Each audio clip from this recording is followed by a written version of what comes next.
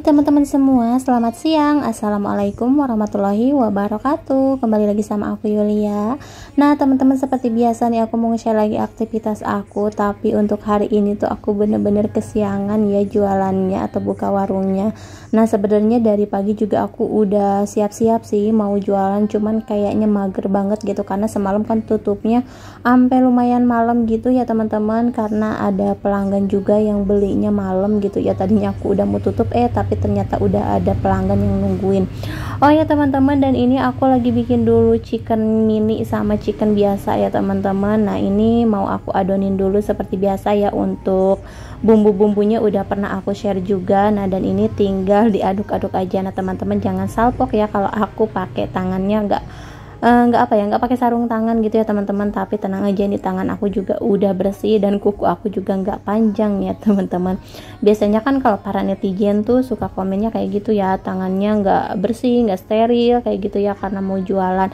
Nah tapi tenang aja nih aku bersih dijamin kok. Nah dan ini tuh kalau pakai tangan kayak gitu emang lebih enak ya teman-teman dibanding pakai sarung tangan kayak gitu. Yang penting kan tangannya bersih gitu ya. Oke dan ini untuk ayamnya udah beres aku tepungin. Lanjut nih tinggal di digoreng aja. Alhamdulillah ya teman-teman. Sekarang aku udah bisa bikin chicken sendiri. Biasanya itu kan suami yang bikinin ya sebelum berangkat kerja. Tapi sekarang Alhamdulillah karena aku juga uh, mulai belajar gitu ya teman-teman. Aku nggak mau ngandelin suami terus. Karena kasihan juga kan udah harus kerja terus di rumah juga harus bantuin aku gitu ya teman-teman. Jadi ya udah mau nggak mau aku juga harus bisa. Karena ini kan keinginan aku aku yang pengen jualan gitu ya teman-teman. Nah dan ini untuk chicken kriuknya udah matang ya udah kecoklat kelihatan kayak gini tinggal diangkat aja. Dan barusan ada yang jatuh satu. Ya teman-teman nggak apa-apa lah. Nah ini aku mau lanjut goreng lagi tapi nggak bakalan aku rekod ya karena kebanyakan ini langsung aja nih aku mau goreng kriuknya ya. Biasanya tuh kriuknya kayak gini anak-anak pada suka. Pokoknya nggak pernah aku tinggalin maksudnya nggak pernah aku buang ya untuk sisa-sisa tepung terigunya. Jadi aku goreng aja kayak gini ya teman-teman. Udah gitu kan lumayan ini gede-gede nggak kecil-kecil kayak gitu. Jadi bisa dimakan bisa kriuk-kriuk gitu. Dan dan ini juga anak-anak malahan belinya pada digaduin gitu ya teman-teman. Dicampur sama bumbu aida sama bumbu keju kayak gitu. Nah dan ini aku mau bikin dulu sambal. Hari ini aku bikinnya sedikit aja karena cabai juga lagi mahal ya teman-teman. Udah gitu kalau kebanyakan yang belinya anak-anak nggak pernah pakai sambal gitu ya teman-teman. Paling pakai saus atau enggak bumbu tabur. Oke lanjut. Di sini aku mau display dulu jualan aku. Nih alhamdulillah untuk ayamnya juga udah jadi udah matang semua ya teman-teman. Sambalnya juga udah. Terus terus alhamdulillah juga barusan udah ada yang beli ya teman-teman. Beberapa orang dan itu ayamnya juga tinggal sedikit lagi. Nah lanjut di sini aku juga mau ngaduk-ngaduk dulu coklatnya karena ini suka ada endapan minyak gitu ya teman-teman. Pokoknya buat teman-teman semua tonton terus video aku sampai selesai. Oh ya sebelumnya aku juga mau ngucapin makasih banyak buat teman-teman semua yang udah selalu mendukung atau mensupport channel aku sampai sekarang ini. Mudah-mudahan ke depannya channel aku bisa terus makin berkembang. Dan teman-teman juga nggak bosan-bosan ya untuk selalu nonton video-video terbaru dari aku. Oh ya gimana nih kabarnya teman-teman hari ini? Mudah-mudahan teman-teman semua selalu dikasih kesehatan dan juga selalu dilancarkan segala urusan dan aktivitasnya ya teman-teman. Oke nih aku mau lanjut aja display-displaynya.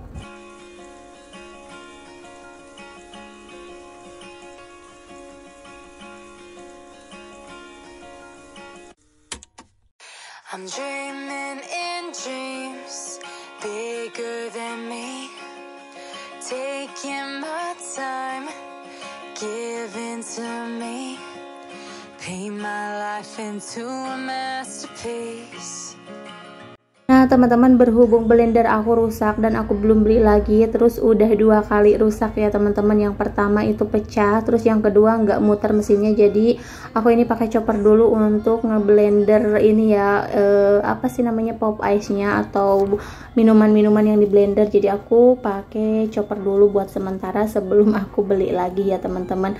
Nah dan ini dia penampakan warung aku di depan rumah atau di teras rumah ya teman-teman. Warung mini atau warung kecil-kecilan kayak gini tapi alhamdulillah mudah-mudahan ke depannya uh, warung aku ini semakin berkembang semakin rame semakin banyak pelanggannya. Terus yang jajan di sini nggak kapok ya bisa beli lagi beli lagi kayak gitu.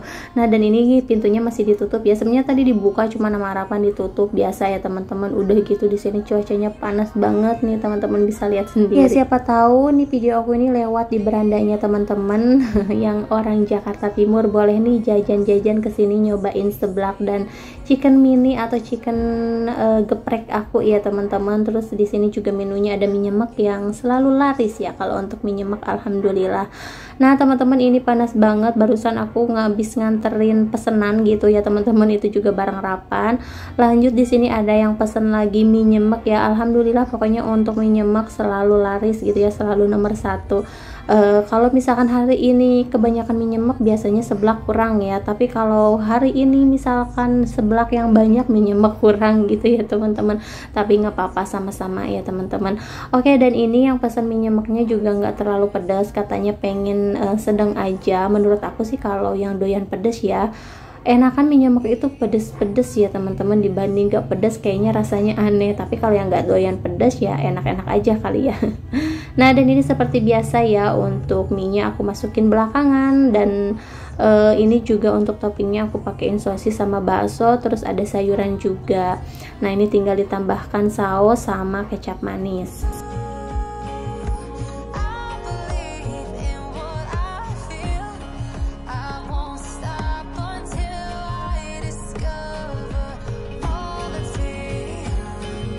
Nah dan ini untuk mie udah jadi ya teman-teman. Ini warnanya tuh pucat banget karena emang sambalnya sedikit mintanya sih nggak pedas gitu ya teman-teman nah terus ini yang belinya juga bawa mangkok dari rumah.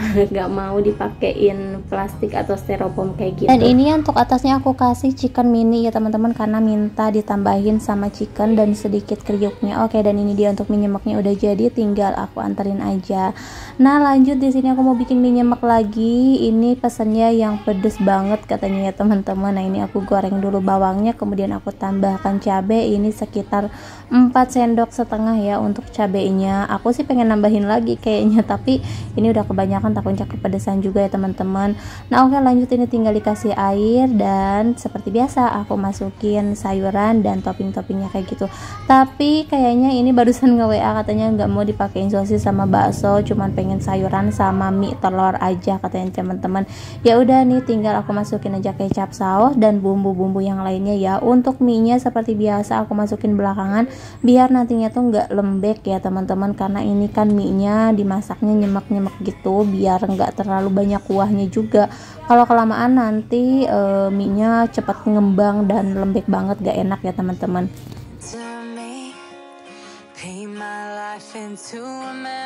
Coloring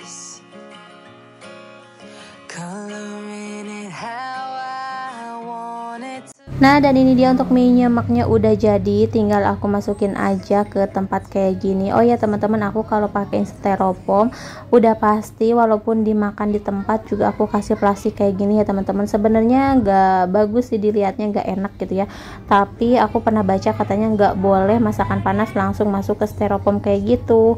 Nah jadi aku masukin di plastik aja. Nggak tahu ya kalau plastik boleh nggak sih?